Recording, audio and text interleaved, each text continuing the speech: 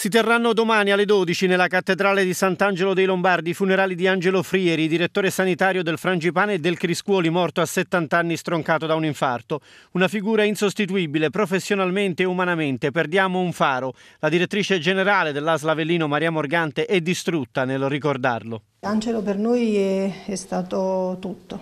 Angelo, il direttore sanitario, l'uomo, il professionista è stato, è stato e sarà per noi un esempio quando l'ho chiamato l'anno scorso per ricoprire la carica di direttore sanitario all'ospedale di Ariano Irpino, un momento terribile. La sua risposta è stata immediatamente sì. Mi disse Maria, per te questo ed altro. Ed è stato così.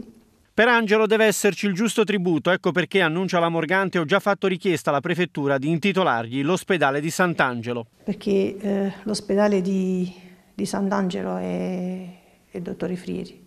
Affranta anche la comunità di Ariano dove Frieri era arrivato in piena pandemia sempre in trincea nella lotta al Covid. Ha messo nel campo tutta la sua energia e tutta la sua predisposizione a fare bene sia nei riguardi di operatori sanitari sia dei cittadini. Intanto nelle ultime 24 ore 124 nuovi positivi con 14 casi a Gesualdo, coinvolti 4 nuclei familiari, 8 a Mugnano del Cardinale e 7 a Serino e si contano altre due vittime al Moscati, un 76enne di Avellino e un 67enne di San Paolo Belsito.